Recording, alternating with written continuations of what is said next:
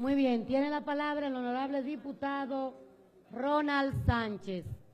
Buenos días, honorable. Buenos días, presidenta. Bien, en administración las improvisaciones cuestan dinero. Educación ha dado una muestra claramente de que no planificó, de que hemos ido improvisando con el dinero del pueblo. Es lamentable que ese sector, como la educación, que es un eje fundamental en el desarrollo de cualquier sociedad, sea un motivo de enriquecimiento, de, de mal uso, de mal gasto, de dinero que le cuesta a cada uno de los dominicanos sacrificio.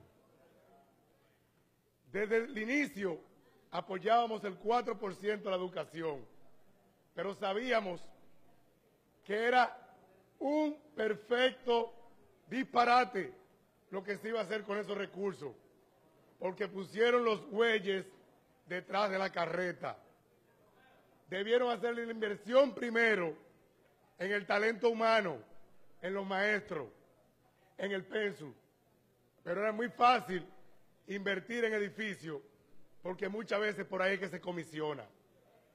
El que conoce la República Dominicana y el del territorio nacional sabe que hay un sinnúmero de escuelas construidas donde no hay ni siquiera habitantes.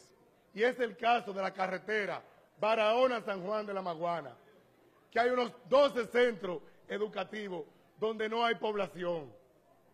Entonces, hoy estamos exigiendo que se apruebe préstamo para entonces capacitar a nuestros maestros, que en su mayoría ya tienen más de 20 años ejerciendo su profesión y que están en edad de pensiones.